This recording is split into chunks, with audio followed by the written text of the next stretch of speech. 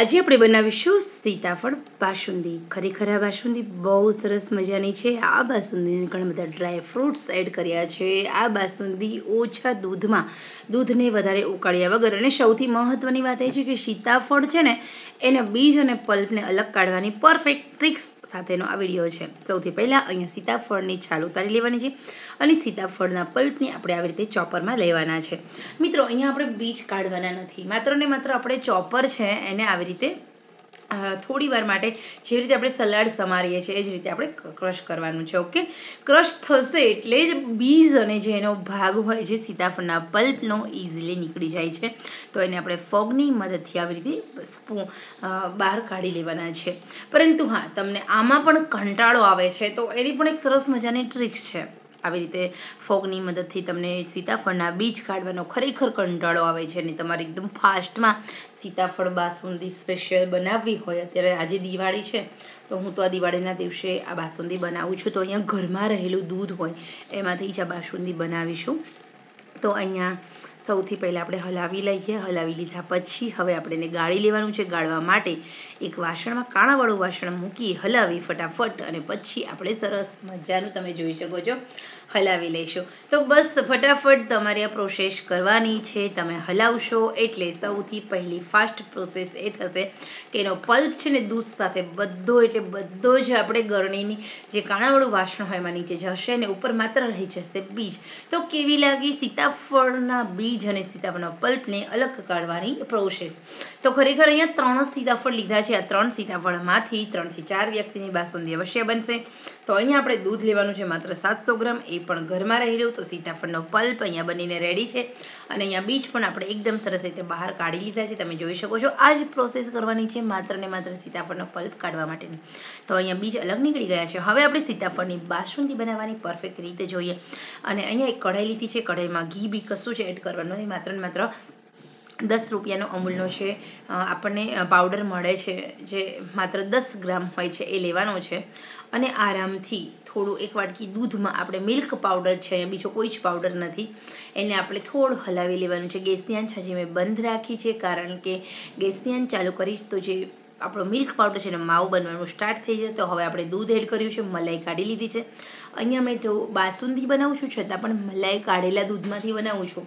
તમારા પાસે કોઈ પણ દૂધ હોય, ગાયનું દૂધ છે, ભેંસનું દૂધ છે, કોથળીનું દૂધ છે, અમૂલ ગોલ્ડ છે, અમૂલ તાજા છે કે વોટ એવર કોઈ બી દૂધ હોય, ચાલશે. બાસુંદી બહાર કરતાં પણ વધારે ઘટ માવાદાર, કણીદાર, મજેદાર બનશે. જોતા રહો પરફેક્ટ ટ્રીક દૂધ ઉમેરી દીધું છે, દૂધ ઉમેર્યા પછી આપણે એક ઉભરો લાવવાનો છે. એ પહેલાં આપણે થોડી ખાંડ ઉમેરી દઈએ ટેસ્ટ અકોર્ડિંગ અમારા ઘરમાં એકદમ ઓછું શુગર બધા ખાય છે ડાયાબિટીસ છે એટલે.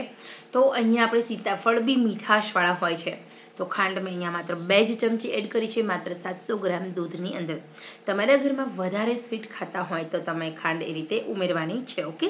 હવે અહીંયા કશું જ કરવાનું નથી, દૂધને ઉકાળવાનું છે. યાદ રહે, ગેસની આંચ ફૂલ હોવી જોઈએ અને થોડી થોડી વારે હલાવતા જવાનું છે. દૂધ એની રીતે ઉકળશે. હા, તમારે કામ છે, તમે ગેસની આંચ એકદમ મીડિયમ રાખી શકો છો અને બાજુમાં તમે બીજા બધા કામ કરી શકો છો.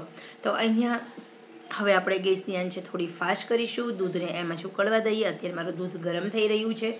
દૂધ ફ્રીજમાં કાઢેલું છે, એટલે થોડું વધારે પડતું ઠંડુ છે, રૂમ ટેમ્પરેચરનું પણ નથી. અને ઘરમાં રહેલા દૂધમાંથી જ અહીંયા આપણો સરસ મજાનો સીતાફળ બાસુંદી બની રહી છે. તો હવે અહીંયા એલાયચી એડ કરવાની છે. એલાયચી છે ને, તે આવી રીતે મેં બેથી ત્રણ ફોલીને એડ કરવાની છે.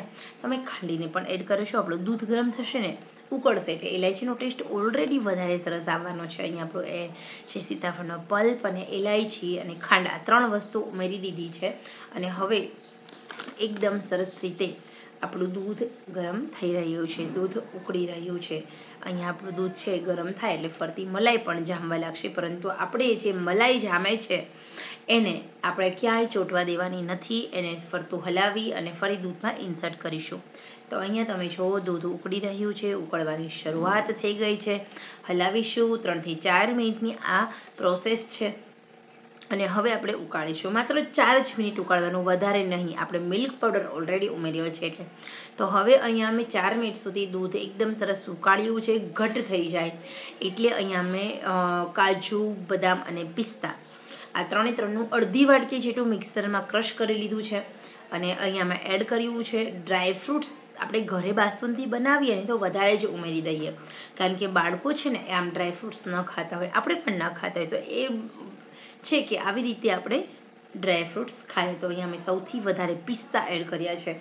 બદામ એડ કરી છે અને સાથે સાથે થોડા કાજુ છે અને હવે આપણી બાસુંદી ફરી ઉકળી રહી છે.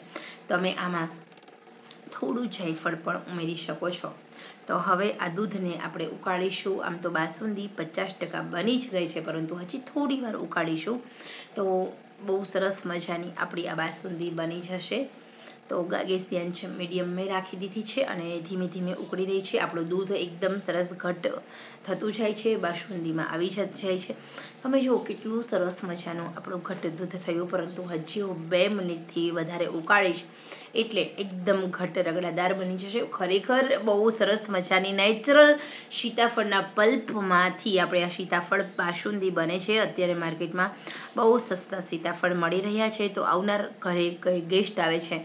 તમે કોઈને ઇન્વાઇટ કર્યા છે ડિનર માટે, અથવા તો તમે કોઈને આમંત્રણ આપ્યું છે બપોરના ભોજન માટે લંચ માટે, તો તમે ચોક્કસ એટલે ચોક્કસ આ રેસીપી બનાવો સસ્તું ભાડું છે શીતપુરની યાત્રા છે, પચાસ રૂપિયાના ખર્ચની અંદર તમારી બાસુંદી બનીને રેડી થઈ જાય છે. ડ્રાય ફ્રૂટ્સ તમે ઓછા એડ કરો તો બી ચાલે, માત્ર ડેકોરેશન પૂરતા એડ કરશો તો પણ ચાલશે. તો અહીંયા કંદોઈ કરતાં પણ વધારે ટેસ્ટી એવી સરસ મજાની બાસુંદી બનીને રેડી છે. ખરેખર મિત્રો, આ રેસીપી બહુ સરસ મજાની છે, પસંદ આવે તો તમે ચોક્કસ એટલે ચોક્કસ ઘરે બનાવજો. તો મિત્રો, ખરેખર હવે આ જે બાસુંદી છે, એનો ગેસ મેં બંધ કરી દીધો છે બાસુંદી ઠંડી થાય છે. પરંતુ ઉપર દૂધની મલાઈનો જેમ એટલે સતત હલાવ હલાવ કરવાનું છે. અને એ પછી તમારી બાસુંદી ઠંડી થાય એમ થાય ઉપર મલાઈનો પોપડો નહીં જામે. એટલી ઠંડી થાય એટલે એક બીજા વાસણમાં લેવાની છે અને પછી એનું લેડ કવર કરી ફ્રીજમાં ઠંડી થવા મૂકો ને એકદમ ચિલ્ડ થાય એટલે તમે પૂરી સાથે સર્વ કરો. આની સાથે મેં બનાવ્યું છે ભરેલા રીંગણનું, એકદમ સરસ કાઠિયાવાડી ટેસ્ટનું શાક.